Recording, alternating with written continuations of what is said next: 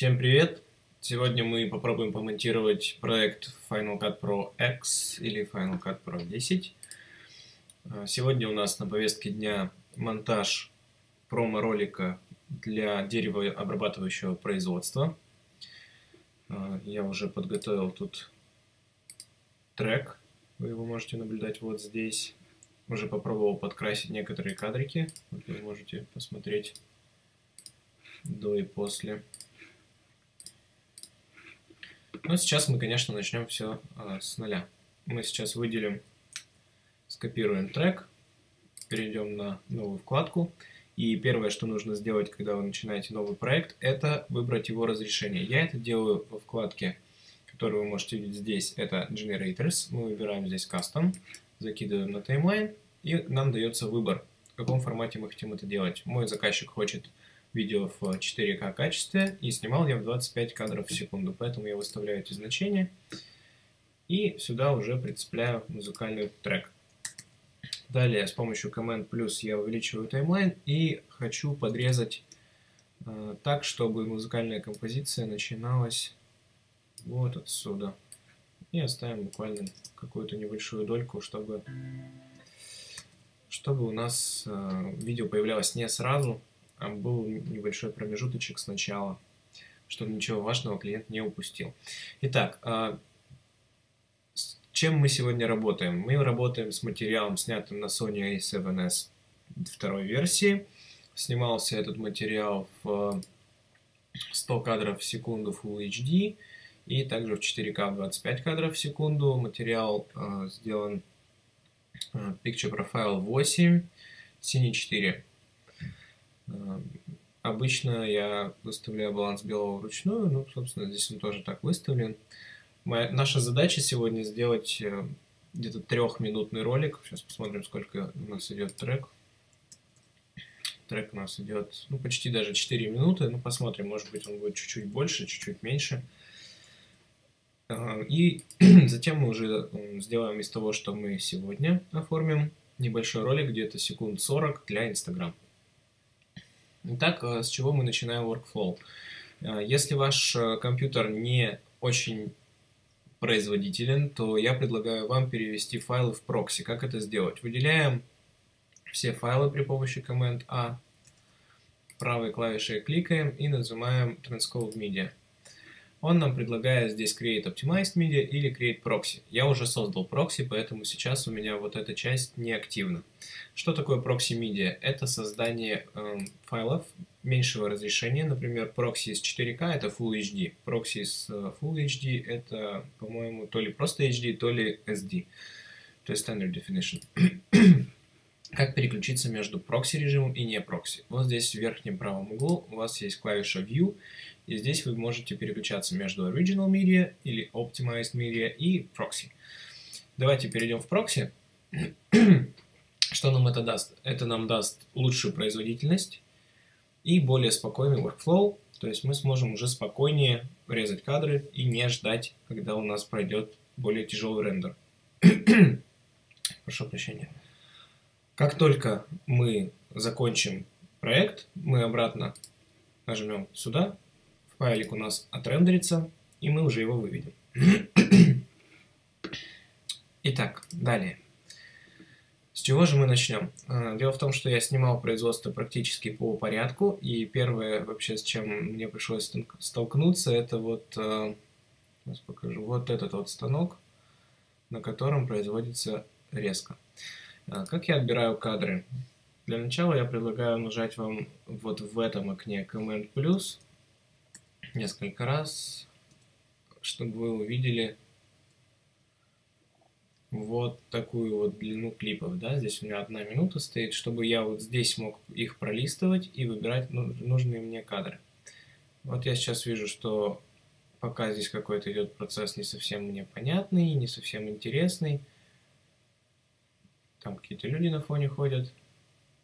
Поэтому мы пока этот процесс не показываем. Ну вот, например, можно попробовать отсюда. Как только я выбрал этот кадр, я нажимаю клавишу I, и это помогает мне откинуть все, что было до этого момента. И дальше я уже смотрю, ну, дальше я обычно делаю на таймлайне все свои подрезки, поэтому я нажимаю клавишу И, и это мне дает возможность закинуть сразу на таймлайн файлик. Далее, чтобы убрать звук, я настроил клавишу F5. Настройки делаются у вас в Custom Buttons, если я не ошибаюсь. Это в одном из меню файл или Final Cut Pro. Либо можно просто утянуть вниз. И здесь уже продолжаем отсмотр. Давайте попробуем посмотреть, что у нас здесь есть. Вот приятный довольно кадр, как производится резьба. И вот мне он понравился до момента, где я пошел назад. Подрежем. Отсматриваем дальше. Тут я вижу свою тень, поэтому этот момент я брать не буду. А, произвожу я отрезание клипов клавишами B и A. То есть клавиша B это Blade, это бритвочка, которую мы отрезаем. Клавиша A это возвращение к курсору. Я думаю, что вы на экране видите, какие клавиши я нажимаю. Вот хороший полукруговой проход. Я думаю, что его тоже можно оставить. Сейчас мы просто набираем неплохие кадры. То есть мы смотрим, что здесь происходит. Так просто проводим по таймлайну. Смотрим, ищем интересные кадры. Ну вот, довольно интересный кадр, да, проводочка. Пока мы к музыке вообще никакого отношения не имеем, поэтому в принципе, можем ее выключить клавишей V. Клавиша V, она выключает клип, и если вы с таким выключенным клипом после нажатия V выведете ролик, то э, вот того куска, который был выключен клавишей V, его не будет в итоговом ролике. Поэтому, если выключаете, потом не забудьте включить, если вам нужен этот кадр. Э, далее, смотрим, что у нас здесь еще есть. Есть у нас вот такая проходка. Снимал я эти проходки на стабилизатор KMTV Single. Объективчик у меня был 10-18, кроп объектив, но он хорошо себя показывает на Sony. Вот здесь, видите, тоже моя тень попала, плюс роллинг шаттер у нас здесь довольно заметный, поэтому если начинать, то примерно вот отсюда. Предыдущую часть мы удаляем. Ну, тут совсем маленький кусочек мне нравится. Вот до начала поворота камеры, наверное, вот до сюда. Так, дальше проходим. Что у нас тут еще есть? Есть вот такой план, но что-то мне не очень нравится. Ага, вот, по-моему, у нас интересный. Давайте посмотрим движение. Не то. Да, сегодня у меня в квартире этажом выше, по-моему, идет ремонт, поэтому если вы слышите звуки дрели, не пугайтесь, это не у меня в комнате, это наверху. Так, у нас есть еще вот такой вот интересный план, где я следую за этой вот штуковиной. Сейчас посмотрим, может быть у нас есть еще... Ага, вот. Сейчас я дождусь, пока моя тень идет. Сложный момент, конечно, не попадать в тенью своей же в кадр, потому что ты не понимаешь, где свет, потому что их очень много источников. Тем более вы можете видеть, что один источник холодный у нас, другой теплый. Баланс белого приходилось выставлять вручную со сдвигом, чтобы сбалансировать это все. Итак, есть у нас вот такой вот кадрик. Я думаю, что он будет смотреться интересно, если мы еще добавим сюда стабилизацию. Стабилизация находится вот в этом разделе можно попробовать. Сейчас э, быстренько пройдет рендер. Рендер у нас находится вот в этой части. У меня настроен он так, что он начинается через 0,3 секунды, если я ничего не делаю мышкой. То есть он идет автоматически. А сейчас посмотрим, что он нам предложит самостоятельно. Вот наши значения, но обычно эти значения являются слишком большими и возникает эффект желе. Я обычно ставлю где-то вот в районе 0,50 с копеечкой. Сейчас дадим отрендериться и посмотрим, насколько у нас стабилизировался кадр. Я предпочитаю делать стабилизацию сразу, чтобы потом, когда я отсматриваю материал, я уже знал точно, смогу ли я использовать этот материал, или стабилизатор даст эффект желе, и кадр уже не будет пригодным. Ну, практически, да. Пока оставим это так. А, я обычно помечаю моменты, над которыми я сомневаюсь, вот такими маркерами. Клавиша M, которая говорит о том, что это маркер.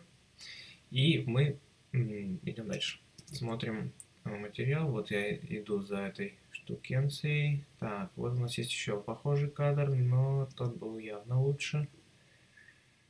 Так, что у нас здесь есть еще? Нет, не нравится.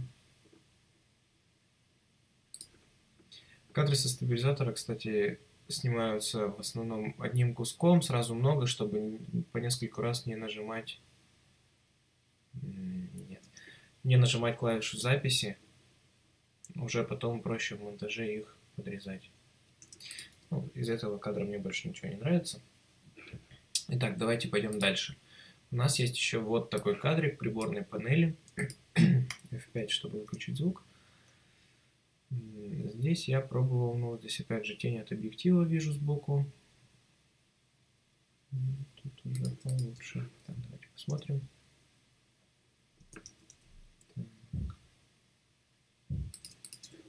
Нет. Не пойму, какая-то тень неприятная. Не нравится мне. Может быть, мы вообще этот кадр не будем вставлять. Это пробные такие тестовые варианты. Ну, давайте так ради, ради наполняемости попробуем еще его быстренько стабилизировать. А, у меня два варианта рабочего процесса. Первый вариант, когда я делаю только нарезку и стабилизацию сразу. Второй вариант, когда я сразу стараюсь и покрасить. Если красить сразу, то вы себе скажем так, облегчаете потом морально работу, что вам не придется второй раз э, идти по всему таймлайну и красить. А второй момент, это, конечно, замедляет а, работу процессора и требует очень мощной машины, поэтому чаще всего я крашу все-таки после. Ну, вот вы сейчас видите эффект желе, когда мы отстабилизировали, поэтому мы сделаем эффект стабилизации совсем небольшим. Пускай так будет. Я не уверен, что вообще этот кадр пойдет. А, это уже покрасочный цех. Мы этот кадрик разберем потом. А, кстати говоря, если мы посмотрим на waveformы, это Command 7, мы сможем увидеть, что я чуть-чуть пересветил кадр. Вот в этой области мы видим, что светлые участки заходят за линию 100 IRE. Это значит, что нам придется потом кадры затемнять. Вообще вы видите, что очень много в светлых участках находится и очень мало в темных участках. Поэтому на цветокоре будем э, смещать это все вниз, чтобы кадр выглядел более контрастным, более приятным глазу. Так, ага, вот у нас, э, давайте выключим waveform. Э, сейчас у нас есть кадрики с рук мною сняты. Это снималось в 5 на Loxio, 35 мм f2 цейсовский объективчик. Вот я хотел запечатлеть именно вот этот вот проезд. Ну да, довольно интересно. Благодаря матричному стабилизатору внутри A7S2 а, мы получаем возможность с рук делать вот подобные штуки. Тут, конечно, у нас немножко роллинг шаттер еще залез. Ну, допустим, вот до этого момента мы сделаем. Так, далее. Ну-ка, если мы продолжим, интересно, что будет. В принципе, весь кадрик интересный, если что, мы потом подрежем его. Так, далее идем. Так, здесь я перехожу. Я обычно предпочитаю не выключать запись, потом, если что, на монтаже подрезать. Тут я не совсем понял вообще, что я снял. Так, а здесь уже пошли руки. Ну, давайте попробуем подрезать здесь. Ну, хорошо. Оставим этот кадрик. Таким образом мы делаем довольно э, такую общую нарезку, где у нас есть кадры, над которыми мы сомневаемся, думаем. Потом уже будем собирать из этого что-то интересное. Далее, э, кадры вот с таким значком означает, что они сняты в 100 кадров в секунду, 100-120. Но так как я снимал в PAL, это 100 кадров в секунду. Э, итак, мы с вами сейчас его закидываем на таймлайн при помощи клавиши IE и английской F5 убираем звук. Так, смотрим, что у нас здесь происходит, и чтобы мы могли из этого взять к себе в слоумо. Если честно, мне не сказать бы, что... Ну, вот, наверное, как он берет, можно попробовать, да, вот отсюда. И до момента, когда он складывает. Теперь, смотрите, мы нажимаем клавишу Command-R. Это дает нам возможность растягивать или убыстрять э, клип. 100 кадров в секунду, замедление в 4 раза, это до 25%. Давайте посмотрим, как это выглядит. Если честно, я пока сам не сильно пойму, попал ли я в фокус. Немножко мыльноватая, мне кажется, картинка. Давайте пока отметим это все маркерами, чтобы оставить под вопросом. Следующий клип. Так, здесь уже у нас рука крупным планом. А еще моя голова в кадре. Я имею в виду тень. Так, смотрим. Вообще непонятное что-то. Так, а если вот тут? Ну, интересно, допустим. Ага, и еще один. Ну, вот у нас два похожих кадра на выбор.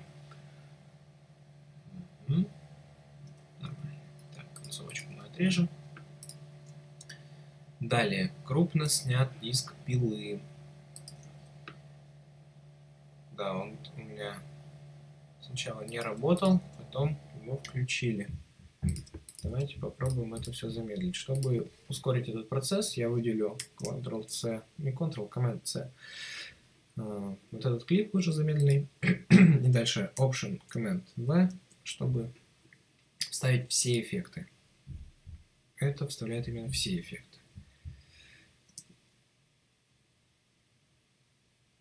Ну, может быть и не нужно это слоумо делать, но это я решу потом уже. Далее, что у нас есть еще? У нас есть кадрики с пилой. Ага. Интересно. Давайте посмотрим, как это будет выглядеть.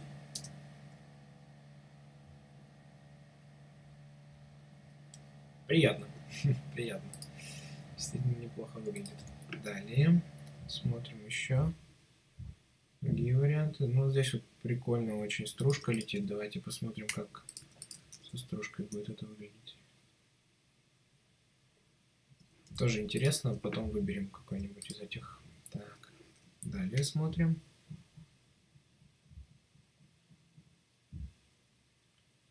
Ну, очень похоже. Тут я фокус явно не попал. Тоже похоже на первый.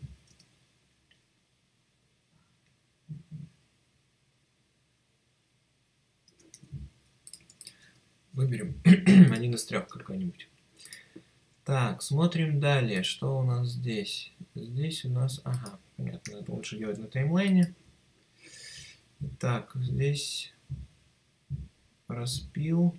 Снято, кстати говоря, на 135 миллиметров, тоже в слоумо. Я думаю, что вот отсюда можно попробовать. Да, неплохой кадр.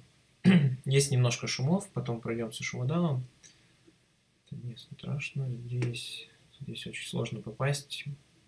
Глубина резкости вообще малюсенькая, тут несколько сантиметров. Ну вот, конечно, я не попал. Так, смотрим еще. Ну, здесь я тоже не попал. Ничего страшного, поэтому я и делаю несколько дублей, чтобы один из них всегда оставался хорошим. Смотрим далее. Здесь у нас руки. Ну, вот мы видим, здесь ноготь как-то не эстетично выглядит, поэтому, наверное, мы этот кадрик не будем брать совсем. Промазал, нажал на капслок. Так, и еще у нас есть кадры, где уже складывают доски. Давайте вот отсюда попробуем. Пускай будет так. Тоже сомнительный кадр, но посмотрим, подумаем. Так, панель управления. Вот у нас есть еще кадры с панелью управления. Давайте начнем вот отсюда. Промазал.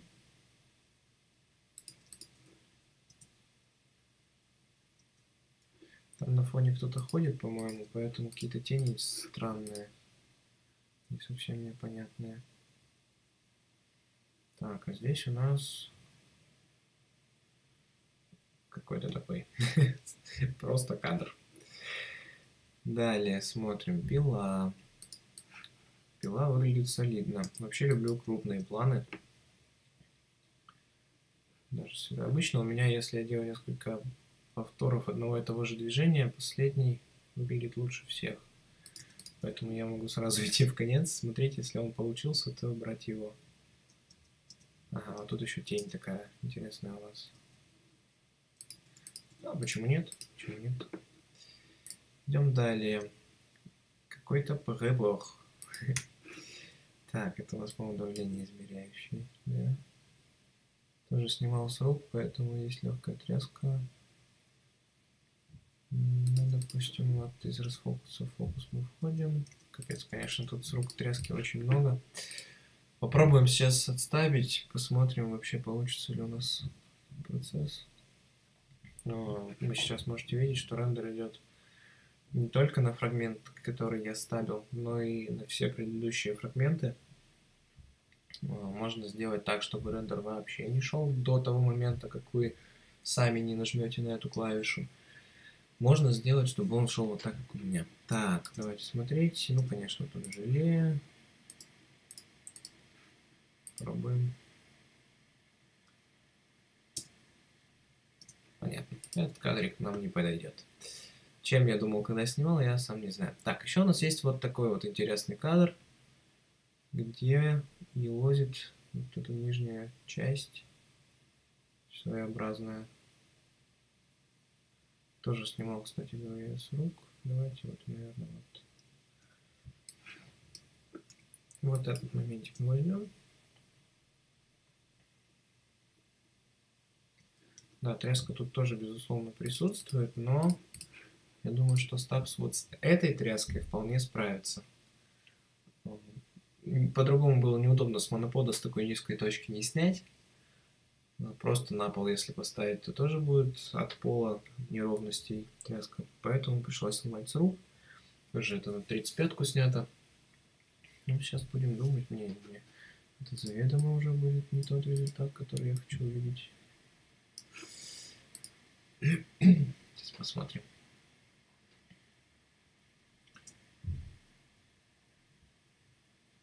Ну, почти. Может быть, тогда не весь кадр возьмем или еще над ним пошаманим, чтобы было потом видно, что мы сделали. Так, еще у нас есть дисковый пилой тут кадрики.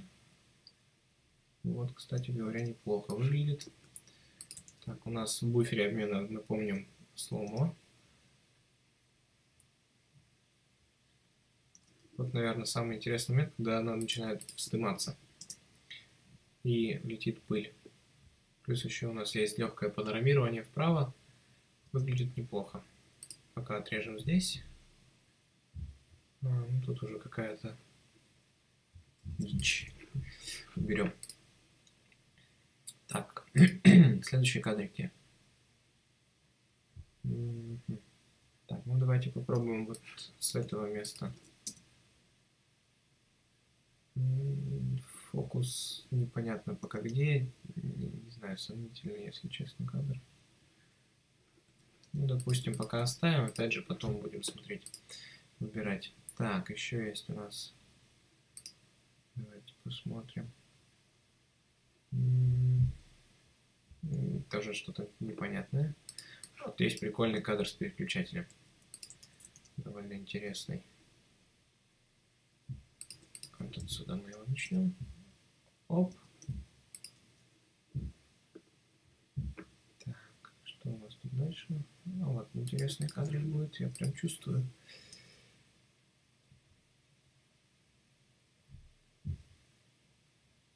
Да, вот этот, вот этот смотрится прям круто. Вот этот смотрится отлично. Я думаю, что его даже можно сразу покрасить и посмотреть, как это будет выглядеть в финальной версии.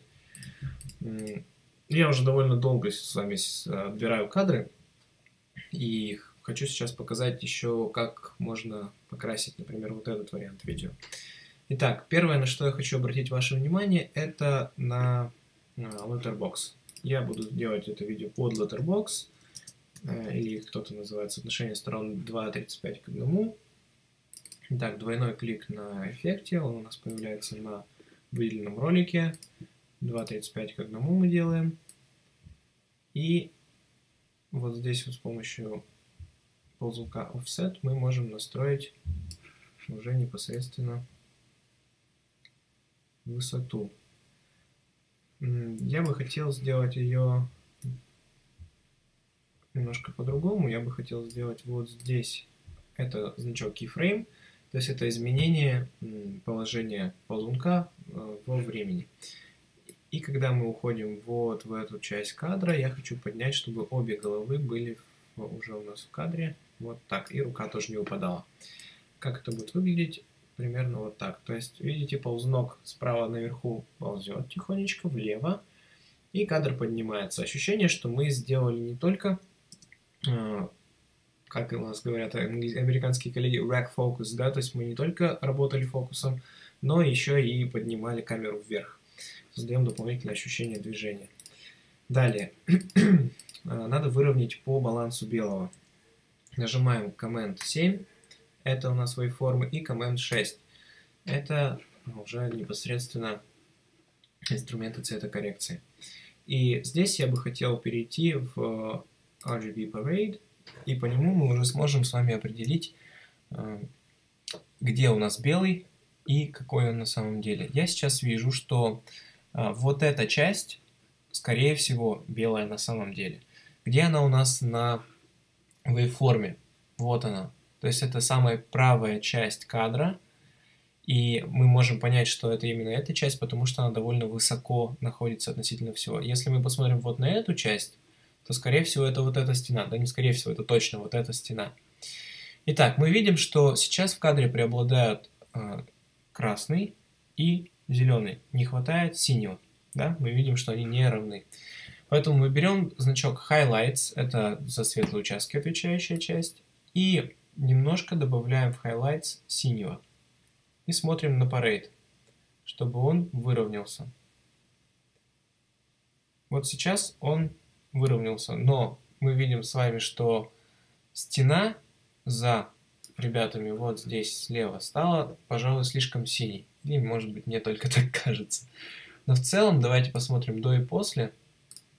Да, вот видите, здесь желтая картинка, здесь уже более нейтральная картинка. Что мы еще с вами можем посмотреть? Мы можем перейти в Luma, это все, что касается света, и э, мы видим, что здесь, в принципе, картинка довольно сбалансированная, нет пересветов, все детали сохранены, э, тени не провалены, все здорово. Итак, что мы будем делать далее? Э, здесь два варианта. Первый вариант – это работать только с инструментами цветокоррекции. Например, можно просто тупо бабахнуть наверх Э, saturation, да, и не имея никакого лука, а просто вот э, увеличив насыщенность и немножко подкрутив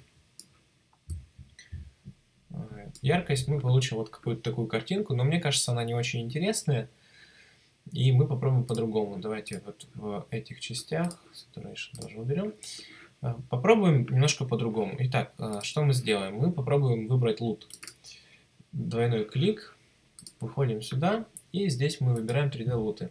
А, я скачал довольно много 3D лутов. А, это такие исходные таблицы цветовых значений, которые придают вашей картинке определенный вид или лук.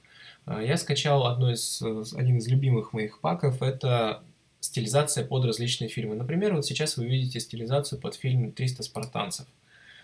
Вот, но это, конечно, жестковато, и мне этот цвет не нравится, поэтому мы будем пробовать другие варианты.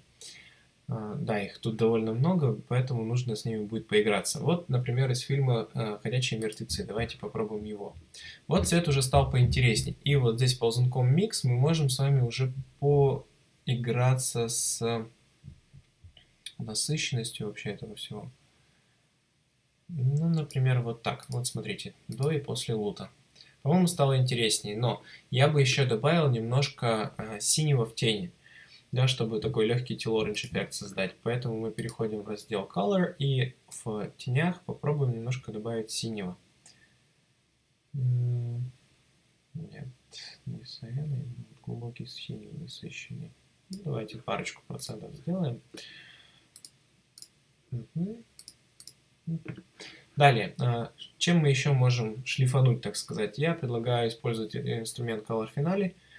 Это очень интересное, полезное а, такое мини-приложение, плагин для Final Cut Pro. И здесь мы можем такую мини Da себе создать. А, вот сюда я пока отодвину. Здесь у нас есть цветовые круги, кривые, луты и векторы. Вот сейчас мы поработаем с векторами. Векторы замечательная штука. Если вы работали когда-либо в Lightroom, то можете понять, что э, там есть очень похожие ползунки. У нас есть три основных цвета. Это красный, зеленый, синий. И три а, дополнительных цвета. Это cyan, magenta и желтый. Или, как мы можем назвать, бирюзовый, ну, ближе к фиолетовому и желтый. К коже относятся в основном красный и желтый Поэтому мы пока выбрали с вами красный и начинаем ползунок Hue двигать и смотреть, как это влияет. Посмотрите, насколько изменился цвет кожи. Нам, конечно, такой цвет не нужен, мы хотим более натуральный. Поэтому мы попробуем э, сдвинуть немножко в другую сторону. Так у нас будет более красной кожа, так более желтой. Давайте пока оставим ее вот, наверное, ближе к такому значению. Немножко насыщенности добавим да, чтобы она выглядела более естественной. Ой, прошу прощения. Вот так вот еще и чихаю. Значит, правду говорю. Далее. Значение luminosity, можно его посчитать, как будто э, мы добавляем некий загар кожи. Но смотрите, э, нужно здесь быть очень осторожным, потому что мы начинаем, если пережарим кожу, где у нас дядя? Вот смотрите, какие артефакты начали вылезать, да? Нам такого не нужно, поэтому мы будем очень аккуратно добавлять это значение. Мы чуть-чуть затемним кожу, чуть-чуть, чтобы она выглядела более естественно. И теперь в желтом ползунке тоже чуть-чуть затемняем. Смотрите на стену сзади. Мы можем полностью изменить практически цвет стены. Ну, конечно, это все баловство, мы просто добавим ей чуть-чуть оттенок другой. Например, вот такой более горчичный. Хорошо. Я думаю, что в принципе кадрик уже смотрится неплохо. Давайте посмотрим до и после эффектов. Итак, это без эффектов, это с эффектами. Ну, давайте без лоттербокса еще посмотрим. Угу. Так, и теперь посмотрим его движение. Цвет кожи я считаю нормальный, но может быть чуть-чуть красноватый. Плюсом еще я вижу... Ну, сейчас, конечно, мы работаем в прокси, поэтому кадрики выглядят не так детализированно, да. А, это стоит не забывать. Еще, что бы я добавил сюда немножко? Я бы добавил сюда чуть-чуть sharpen, да, то есть это резкость. Обычно я оставляю это значение на 2,5, больше не стоит. И также мы можем с вами провести э, денойзером пройтись. Это у нас плагин называется Noise Reduction, но вообще сам по себе плагин называется NetVideo. Э, если мы его закидываем, то я обычно стараюсь его располагать в верхней части над всеми эффектами, чтобы не было споров эффектов.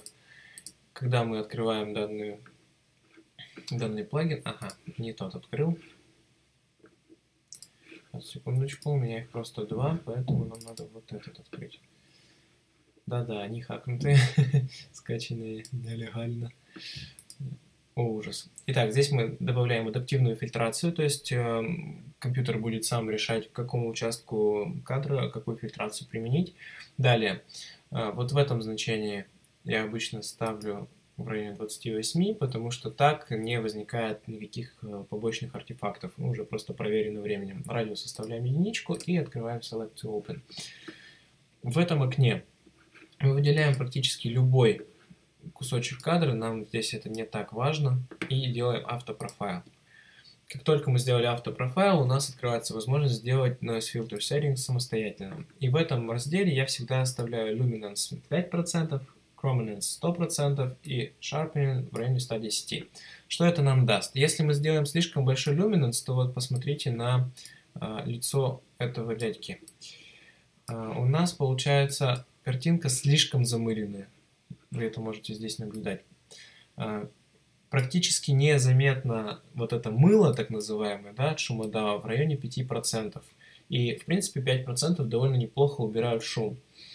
Chrominance же, оно практически не влияет на мыльность картинки, она убирает, э, вот этот ползунок убирает больше именно цветные шумы. Поэтому здесь все хорошо, оставляем на сотки. И sharpening оставляем в районе 110, то есть еще чуть-чуть добавляем шарпа. Если перешарпить, то картинка будет смотреться неестественной, такой вот э, цифровой слишком. Нам хватит 110%. Нажимаем Apply. И здесь уже э, идет сейчас процесс рендера. Рендер э, с шумодавом происходит довольно медленно. Сейчас мы с вами работаем в прокси, поэтому он идет чуть быстрее. Если вы собираетесь рендерить э, файлик 4К в полном разрешении, не в прокси и с шумодавом и кучей эффектов, то будьте морально готовы к тому, что ваша машина начнет конкретно нагреваться, уставать, пыхтеть, и этот процесс займет довольно долгое время. Вот у нас получился такой кадрик. Потом, когда мы вернемся из прокси уже в нормальный вид, мы получим более приемлемую, более интересную, более вкусную картинку, более детализированную, конечно. Вот сейчас это был такой тестовый покрас. Мы будем уже с вами а, потом просто дальше нарезать кадрики. И уже потом все будем также красить, шлифовать, пробовать варианты, смотреть чтобы они все стыковались, само собой, по цвету, по цвету. Но в целом я пока доволен. Да, может быть, потом подкручу немножко кожу, уберу немножко красного, но это уже такое финальное шлифование, я бы сказал. Не знаю, слышно ли вам, но мой Mac начал уже так конкретно греться и включил вентиляторы почти по полной. Так, а, давайте посмотрим, что у нас здесь есть еще. Вот у нас уже следующий э, аппарат, агрегат, не знаю, как его назвать, это пресс. Сейчас здесь он будет различным образом закрываться. Вот вновь я залез тенью, сложно очень этот момент следить. А, то есть мы будем здесь уже отбирать кадрики от пресса различные. То есть у меня здесь есть несколько вариаций таких. Есть просто проходки по всему заводику фабрики. Есть покрасочный цех, который мне, кстати говоря, очень нравится. Здесь есть реально очень вкусные кадры. Вот, например, взять хотя бы вот этот. Не могу его вам сейчас не показать. Мне он очень нравится.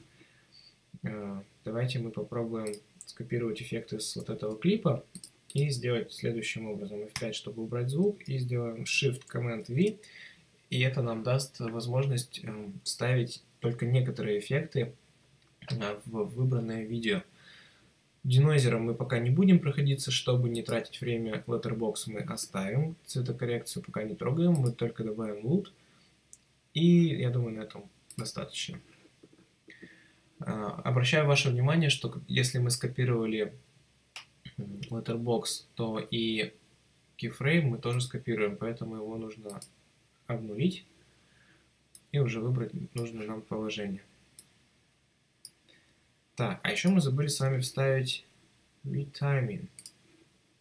Угу. Вот, теперь у нас есть в замедленном действии это все. Потом, конечно, нам надо будет пройтись шумодалом, потому что я вижу этот шум. Но вы посмотрите на это, это очень сочный кадрик, реально очень сочный. Мне очень нравится.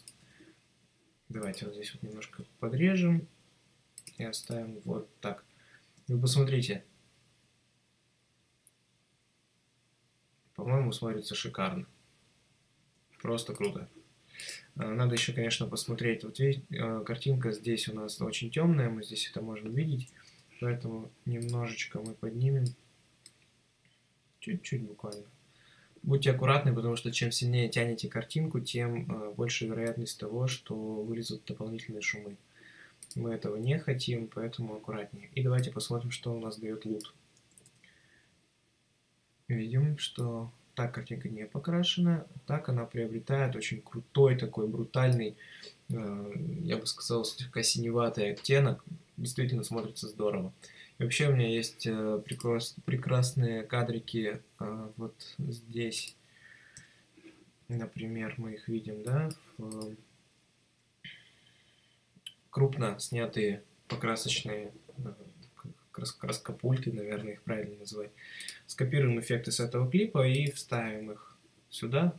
Смотрите, как круто выглядит. И еще вот эти провода, э, по которым идет, э, по-моему, сжатый воздух все-таки через них идет. Может быть, конечно, и сама краска, я не уверен. Дают очень интересный такой эффект. Здорово выглядит. Мне нравится. Конечно, мы не весь этот кадр будем вставлять, мы будем это все подрезать, но вообще выглядит интересно, мне нравится. Само собой, потом проходимся шумодавом, чтобы подчистить это все, потому что будет это все демонстрироваться на больших экранах, и наша задача сделать это максимально смотрибельно, максимально вылизано, вычищено, чтобы картинка была очень приятной. Также еще есть кадрики с GoPro. Мне должен э, владелец э, фабрики, обладатель GoPro, и мы прикрепляли ее э, к пилам непосредственно внутри некоторых аппаратов, ну, например, внутри, нет, не этого аппарата, вот внутри вот этого. Вот в этом боксе находится внутри пила, вот кусочек ее торчит, и мы при, в буквальном смысле приклеивали на двусторонний крепкий скотч вот сюда GoPro, и мы снимали крупно, как отрезается кусок ну, древесины, можно сказать, шпона. Очень крутые должны быть кадры. Вот жду сейчас от клиента эти кадрики. А, в целом, вот так выглядит workflow. Далее я собираю, то есть вы сейчас видите, я насобирал определенное количество кадров, только я отсмотрю все свои кадрики, у меня будет, ну, примерно около 8 минут, я думаю, примерно, исходников. Потом из этих исходников я уже выбираю то, что я вставляю в финальный вариант, и начинаю монтаж под музыку. То есть, если мы сейчас отключим видеоряд и послушаем музыку, я вам сейчас скажу, где бы я э, срезал кадры. Здесь мы просто слушаем э, различные музыкальные аккорды, эффекты, сильные доли. Ну, пошел кадрик первый, например, второй в этом моменте. Смена, смена, смена, смена и вы поняли, да? То есть примерно вот так, на вот эти вот хорошие сильные доли музыкальные мы меняем кадры. Где-то перемежаем слоумо с обычными кадрами, где-то со стаба кадры, где-то крупники. Тут уже что-то подинамичнее должно пойти, скажем так, поэпичнее и так далее. То есть мы делаем такой вкусный микс из того, что нами было снято, смонтировано, Давайте пока остановимся на этом. А, и далее уже снова возвращаемся к процессу цветокоррекции. И уже финальная часть, когда мы закончили все эти а, манипуляции, у нас есть готовый ролик, который я обязательно домонтирую, ну, уже самостоятельно и покажу вам итоговый результат. Потому что сейчас будет происходить, собственно, одно и то же. Это выборка кадров, их расположение, монтаж, цветокор, шумодав, шарп и так далее. Я зайду сюда в режим View, перейду обратно на Optimized Video, дождусь, когда закончится рендер, и далее, нажав Command I, я зайду в Settings, выберу компьютер, H264, 4K и нажму Next. Таким образом получу готовый файлик в нормальном разрешении с хорошими цветами и не бешеным весом. В принципе, основы работы здесь уже есть. А, конечно, есть еще много нюансов работы с ключами, работы со звуком, а, прочие маленькие нюансики, но в целом я думаю, что этого для начала более чем достаточно. Если есть какие-то вопросы, не стесняйтесь писать мне в личку, задавать их. Я всегда рад сотрудничеству. Если интересно посмотреть какой-то другой материал, например, а, Love Story, то я готов записать еще подобный подкаст и поделиться с вами своими секретами. Всем большое спасибо за просмотр.